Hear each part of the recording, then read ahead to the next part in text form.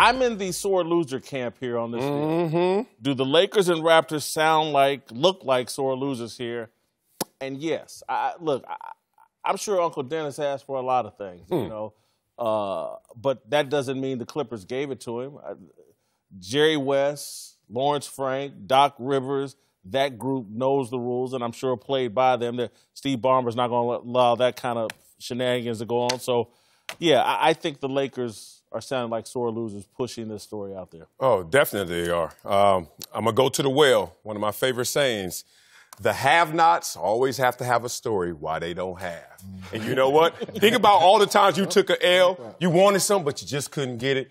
You just couldn't take it like that. You had to give the story, the validation. Why she didn't give you her number, you know? Why you didn't get the penthouse suite when you know it was only a floor up? Oh, it costs too much. No, it don't. And somebody right behind you said, I'll take the penthouse. You know what I'm saying?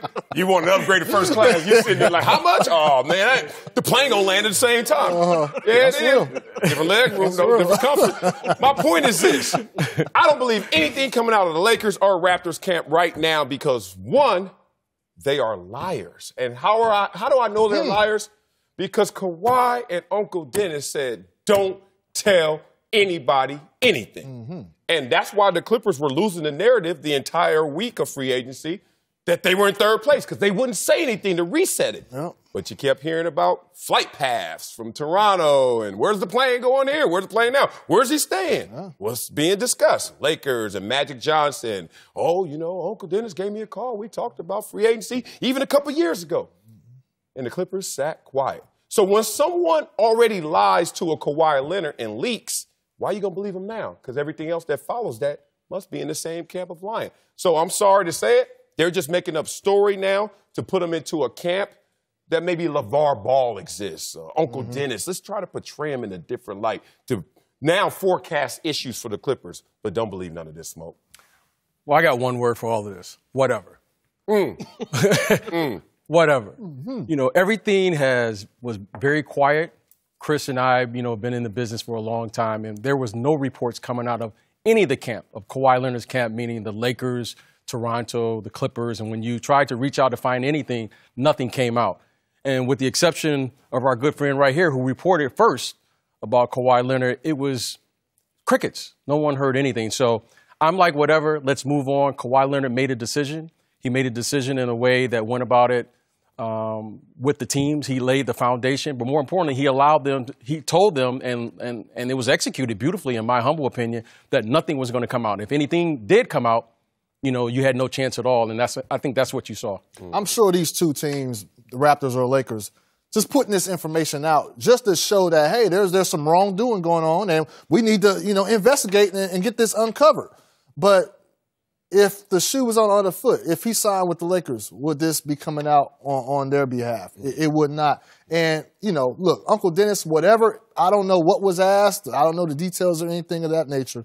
But I will say this: I know for a fact he would probably wasn't the only one to ask for for for certain things like that. I'm pretty sure other agents or other prominent family members who have a who have the power uh, to be in those meetings requested similar things. Like I said, I don't know if that happened or not, but it's just when Kawhi. This was a high profile case Yeah. where the Lakers are a high profile team. They feel like Lakers felt like you know this is the Lakers. They still have that stigma about themselves. Like we're not getting beat by by, by the Clippers, a high profile top three player by the Clippers. That's not happening to us.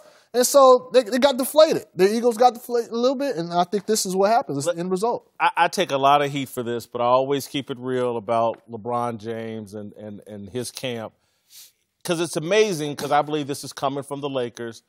But, but if you go look at the history of LeBron and uh, Maverick Carter and Rich Paul, when they were in Cleveland, they asked for unprecedented access from Dan Gilbert, who gets to fly on the plane, all kinds of things.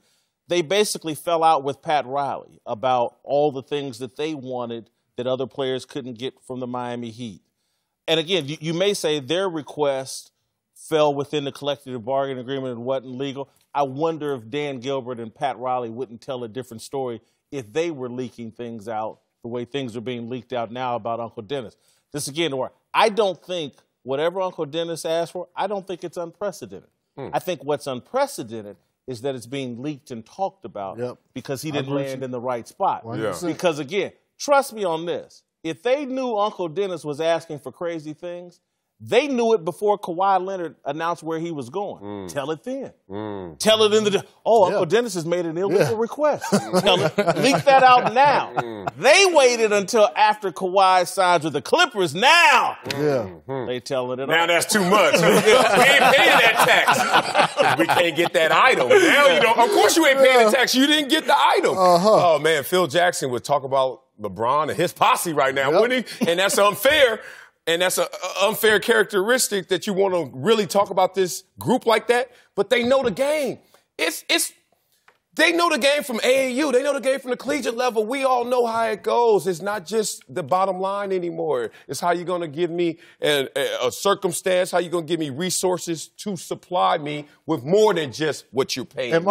And it's a form of dry snitching because now they're looking at it, they saying, well, we ain't saying the Clippers um, gave in to those expectations, but he did sign with the Clippers. you, know, you know what I'm saying? So well, now, now, you know, you want to put an investigation out there? Go, go mm. ahead. We see what team fell into those those favors ass. I, I, I'm. Go, this is what I really truly believe. I came into this hearing about Uncle Dennis and was like, "Here we go again, mm-hmm. another LaVar." Mm. I come on the other side of this and go, "Oh man, this dude is kind of about business." oh yeah. He kept it all under wraps. I don't know what this guy looks like. He's like the Al Haymon of, of the NBA. I don't know what he looks like, but it was successful. They got Paul George. They got a championship team. His nephew is happy right where he's at. I, I, Un- Uncle Dennis, to me, until these rumors came out, and again, the rumors don't bother me. He comes out of this unblemished, and I got nothing but respect for him. Yeah, I mean the Lakers, Raptors to a smaller degree, are all trying to deflect from a larger issue. And we know that larger issue is that, hey, man, these B teams are out there, you know, the Nets in Brooklyn or the Clippers out there. It's about what are you doing right now? What have you done for me lately? Not just throw the brand out there and just say anything. Uncle Dennis, let's get his story straight in terms of when he finally rose to a level of like, you got to call me Uncle Dennis. He's the one that told Kawhi, stop letting San Antonio play you like that. That first misdiagnosis with the hand injury, you came back. But if it happens again, we going to stand up. And it happened again with the quad situation. Uncle Dennis is the one that told him, hey, bow that back, man. You Kawhi Leonard and gave him some encouragement. So now let's not get brand new on Uncle Dennis and then try and undermine what he's done for but this also guy. who has history and precedent dealing with similar situations. This Right. this man right here with Derrick Rose. What mm-hmm. Derrick Rose went through. I, you, can- you speak to Well, that. yeah, you, you know, we went through this, and you know, I think last time I was here, we talked about the Derrick Rose situation and the pushback that we received, not only from the organization, but from just the media in, in general. But the big thing when you see this, especially when you're talking about today's players, is the following: is the power. Who has the power and the and, and the respect right now to really make these decisions? And right now, the players are talking, they're speaking loudly, and what they're saying is, we don't care how much money is out there we're going to go play where we want to play. Mm. And I do- we don't have to agree with it, but I think all of us who are working with these young people today understand that these young people are turning down hundreds of millions of dollars to go play where they want to play, regardless of the situation. And so I know you agents people- ain't eh, eh, don't approve of that.